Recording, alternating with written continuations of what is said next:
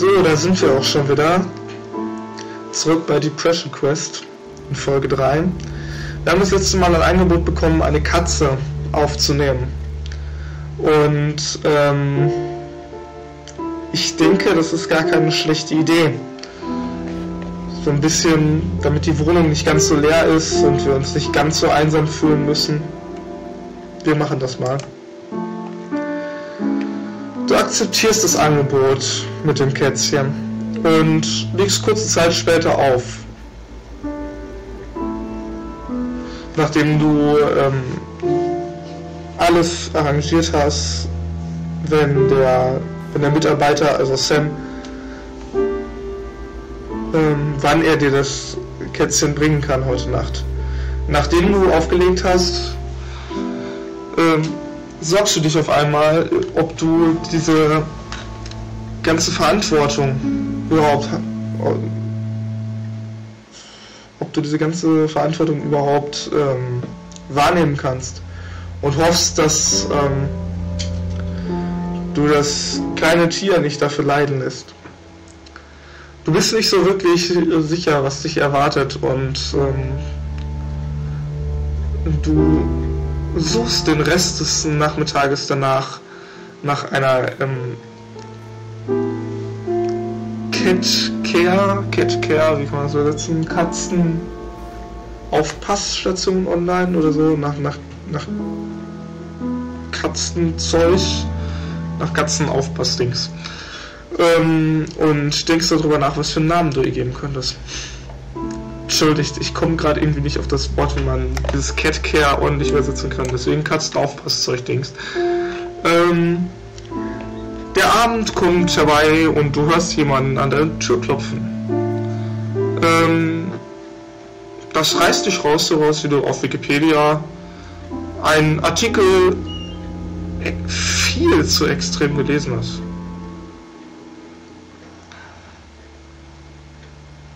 Also du nimmst Position, also du stellst dir vor, nee, Moment.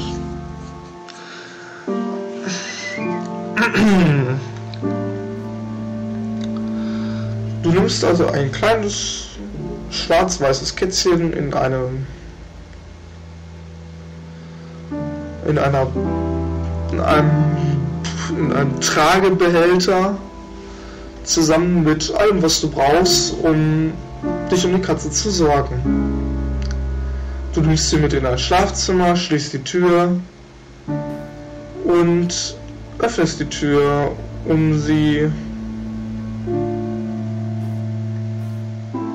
ähm, um sie herauszutragen. Nein, und du öffnest die Tür von dem Behälter total aufgeräumt.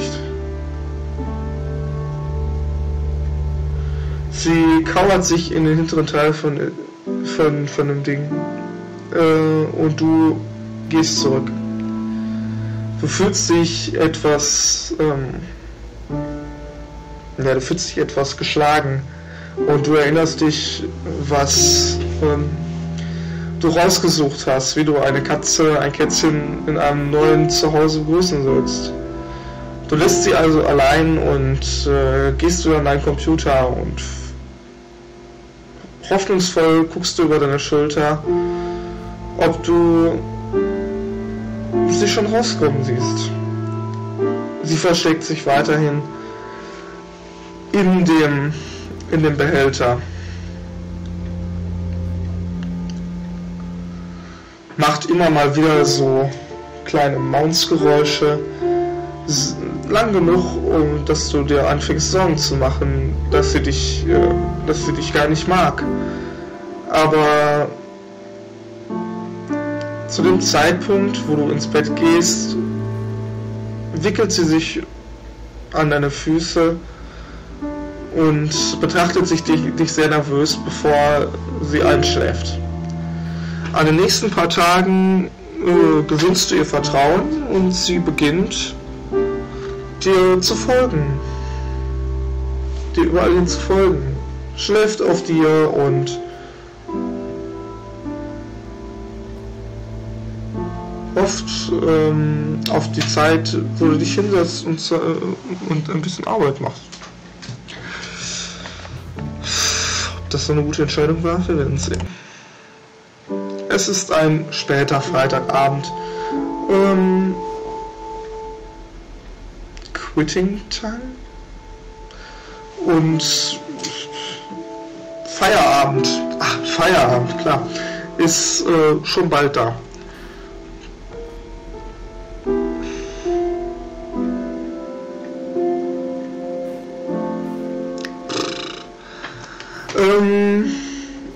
Ein schöner, klarer Tag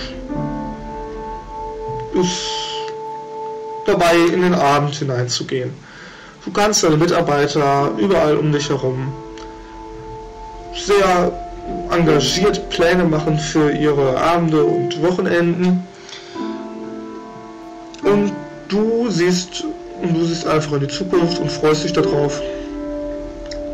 Naja, Freunde ist übertrieben, aber du bist, du guckst einfach darauf, dass du nach Hause gehen kannst und ein bisschen schlafen kannst, nachdem was nach einer, nach dem, was sich als eine sehr lange und schwierige Arbeitswoche herausgestellt hat. Gerade kurz bevor deine ähm, Schicht endet, kriegst du einen Anruf von Alex. Ähm, es scheint, eine Gruppe von deinen angehenden Freunden oder so ähm, gehen in ein Pub in der Nähe und für ein Dinner und also für Abendessen und Getränke, um das Ende der Woche zu feiern. Und die wollen jetzt wissen, ob du ob du mitgehst. Ähm, du sagst ihnen, dass du emotional fertig bist von der Arbeit und du und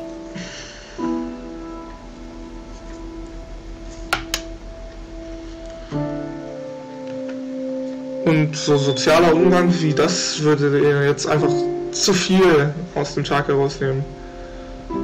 Du gibst ihm Mut, eine gute Zeit zu haben aber du weißt, äh, weil du weißt, dass es schon eine Weile her ist, dass sie mit ihren Freunden ausgegangen ist.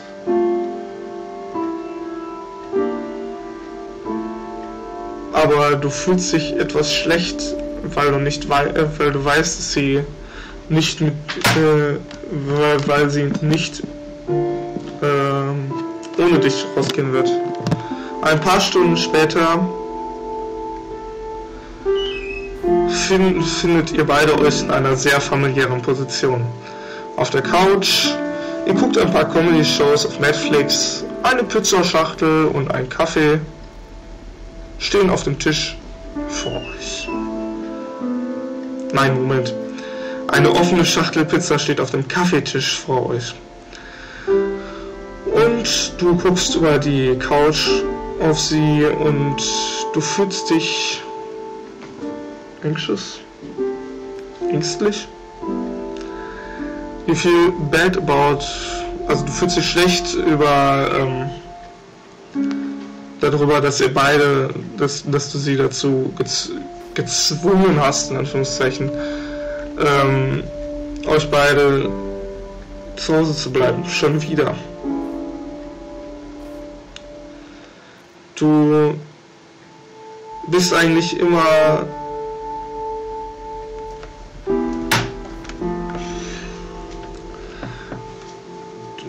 du nimmst eigentlich sonst immer Interesse auf das, was dein, was dein Partner gerne macht und äh, nimmst die Gefühle mit, mit ein und sorgst dich eigentlich dafür, dass du sozial komfortabel bist. Ähm,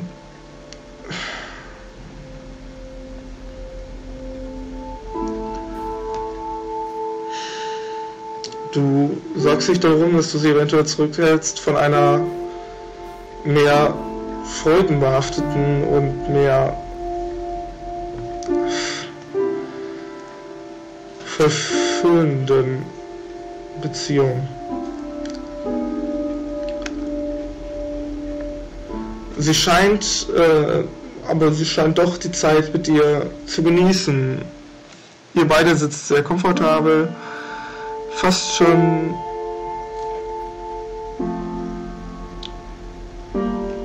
ähm, kuschelnd.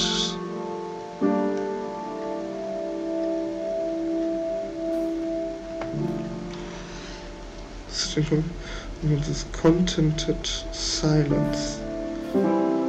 Ein Schweigen beim Schauen alter Sendungen, die ihr schon zwei, dreimal gesehen habt. Deine immer weiter steigende Angst um eure Beziehung, äh, dass eure Beziehung ein einseitiges Gewicht bekommt, geht mehr und mehr schwer auf dich zu. Entschuldigung, ich muss mal eben kurz einen Schluck trinken.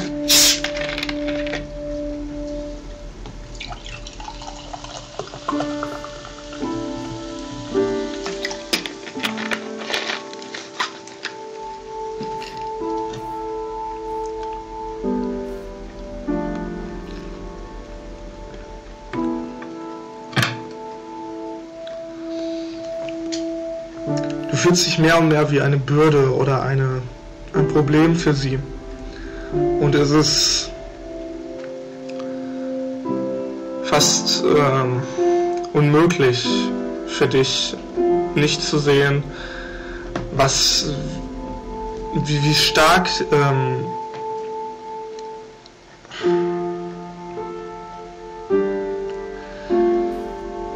wie stark du also wie stark du sie einschränkst.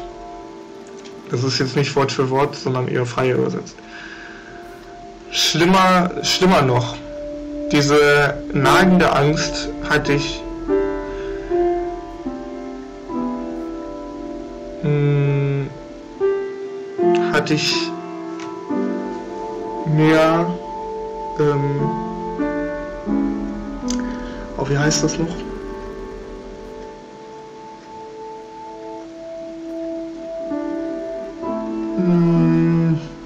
Hatte ich mehr und mehr Angst, hatte ich mehr und mehr ängstlich vor dir selber gemacht. Ähm, die Gefühle sind immer weiter immer ins Innere gekehrt und du hast angefangen, dich immer weiter von Alex wegzuziehen. Interessant jetzt auch, wir haben noch eine Auswahlmöglichkeit von vieren.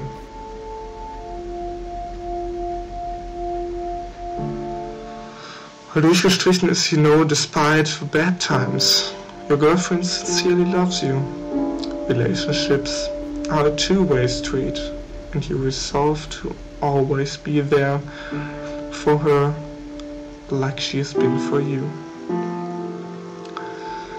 Ja, erste Antwort im Prinzip. Wir wissen, es gibt schlechte Zeiten, aber meine Freundin liebt, deine Freundin liebt dich. Beziehungen sind von zwei Personen geführt und du kannst dich immer an sie wenden, weil sie ist für dich da. Zweite Antwort ist, äh, du erzählst Alex, wie wichtig sie ist für dich und ihr genießt den Abend. Und die dritte wäre gewesen, frage Alex, ob sie wirklich glücklich ist mit der Beziehung.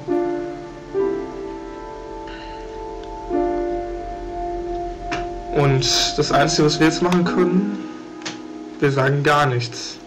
Wir sind mittlerweile sehr besorgt darum. Da, mittlerweile sehr besorgt um sie, ob sie nicht äh, upset, äh, wütend auf uns ist.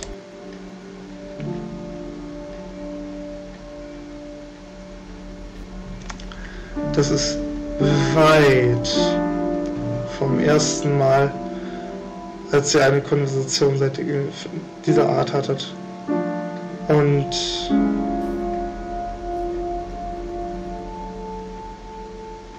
es ist eine, die sich jedes Mal gleich ausspielt. Du erklärst deine Ängste von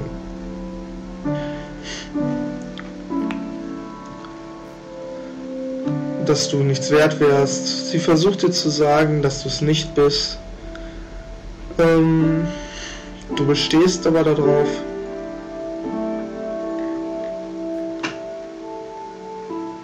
dass sie bloß nett zu dir ist, weil sie deine Freundin ist und sie geht und sie wird frustriert.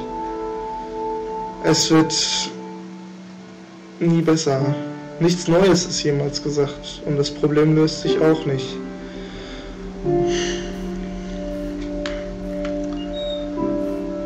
Ähm,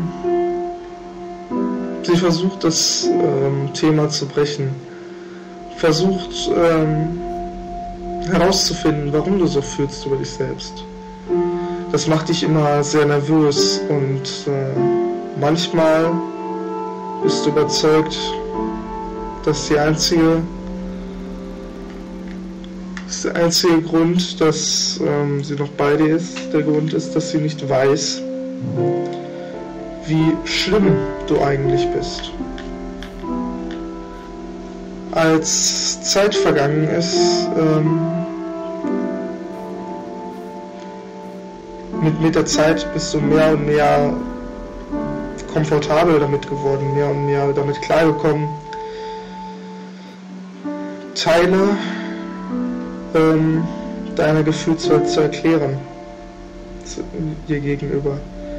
Aber es fühlt sich immer noch sehr gerichtend an und es ist keine, es ist kein Gespräch, ähm, was du zu lange führen kannst, ohne dich zu sagen, ähm, dass du sie eventuell verschreckst das Gewicht des äh, unausgesprochenen, ungelösten Problems in eurer Beziehung.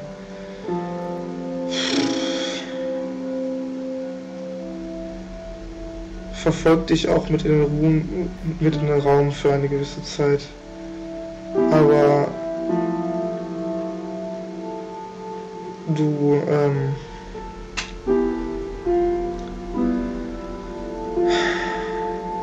packst, äh, aber du packst die Wahrheit nicht auf für den Rest von der Nacht. Sehr merkwürdige Metapher. Es ist ein windiger Sonntagnachmittag. Ähm, du hast Amanda, einer alten, einem, einer alten Freundin von der Schule, die in der Stadt für ein Wochenende in der Stadt für ein Wochenende ist. Ähm,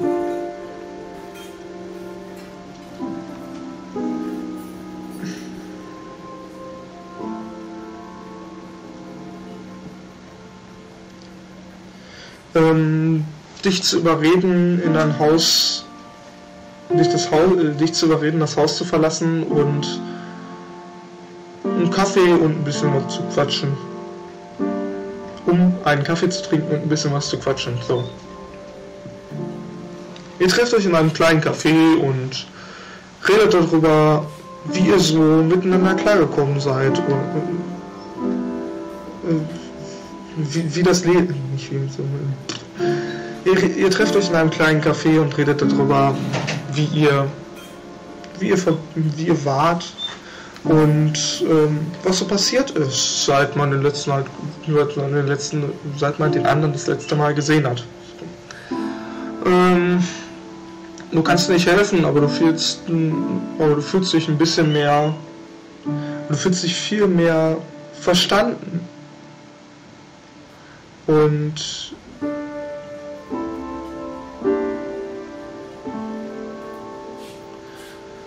interessiert, als wenn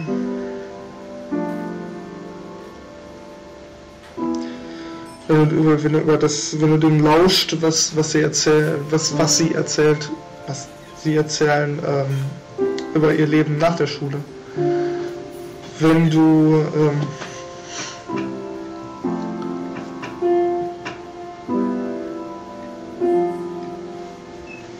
als es ähm, als du dran bist, ihnen zu erzählen, welche Aktivitäten du so machst und was du sonst äh, was, was du so machst, fühlst du dich ähm, ängstlich und äh, bist voller Scham und gibst eine sehr abgespeckte Version. Du versuchst über deinen Job so wenig wie möglich zu reden. Du, fühlst dich unglaublich langweilig, weil du es während du es erzählst. Und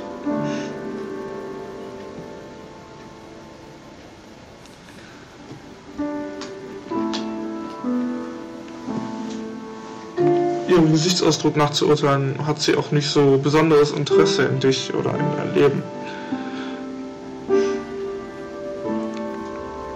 Männer kennt dich aber lang genug, um deine Stimmung und um an deiner Stimmung und an deiner Stimme zu erkennen, um, um deine Stimmung am, am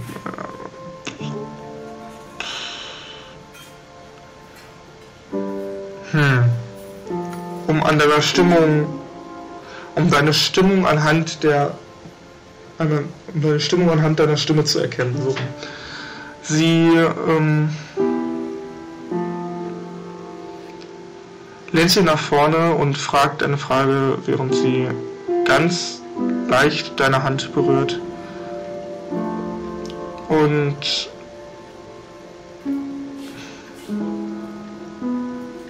fragt, was ist los? Beziehungsweise, ja, eigentlich was ist los?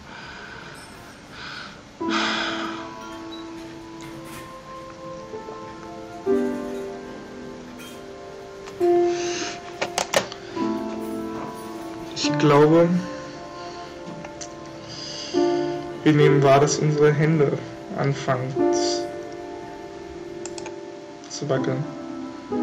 Es ist eine kleine Frage, aber es fühlt sich so an, als ob sie die ganze Welt bedeuten könnte. Du bist überrascht von dir selbst, als du erkennst, dass deine sehr eng gepackten Fäuste nun beginnen leicht zu wackeln.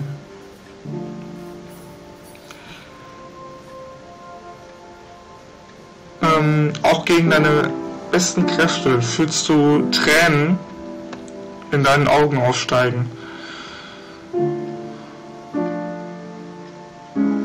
Du versuchst das zu vertuschen, indem du deinen Kopf nach oben reißt und betest, dass sie nicht, dass, dass sie zurückgehen.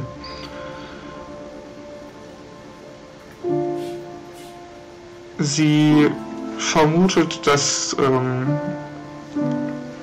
ihr beide rausgeht und du fühlst dich fast tot. Sie bietet dir an, ähm, mit in dein Apartment zurückzukehren. Ähm, aber die beiden, aber ihr beide hört auf äh, zu reden in ihrem Auto für zwei Stunden, als die Worte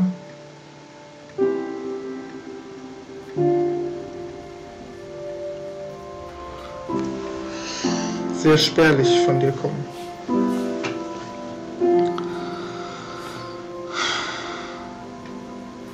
Amanda scheint sich unsicher zu sein, was sie dazu sagen soll. Aber sie hört ihr zu, reibt dir über deinen Rücken, als du weinst und sprichst. Sie fragt, ob ich damit, ob, ob, äh, ob du damit zu einem Doktor gegangen bist. Und du musst äh, dir eingestehen, das bist du nicht. Sie erwähnt, dass ihre Mutter einen sehr guten Physiotherapeuten in der Stadt kennt und bietet dir an, mit ihr darüber zu sprechen. und bietet dir an, sie darüber zu fragen. Du bist nicht, äh, du bist nicht besorgt über die Frage, über die, also du hast keine Angst davor, vor der Idee, zum, The äh, zum Therapeuten zu gehen. Ähm, du bist noch nicht, du bist, du bist deutlich weniger auch, ähm, hast auch deutlich weniger Angst davor, dass Amanda ähm, jemand anderem über diese Probleme erzählen könnte. Aber sie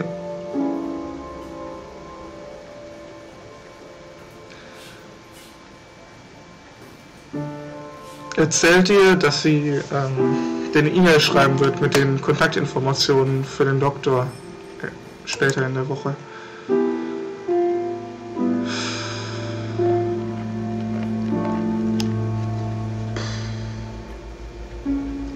Tut mir leid, wenn ich auch jetzt mittlerweile, mittlerweile so zwischendrin noch mal ein bisschen stocke. Punkt A. Es ist sehr schwierig, ähm, den Text so zu übersetzen und äh, das Thema setzt schon sehr zu. Das muss man auf jeden Fall sagen. Deswegen werde ich jetzt auch unsere Folge hier beenden. Und wir schauen das nächste Mal, wie es weitergeht. Ich hoffe, wir sehen und hören uns beim nächsten Mal wieder.